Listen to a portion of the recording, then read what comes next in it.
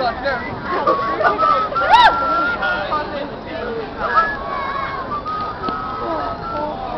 Dave, do it.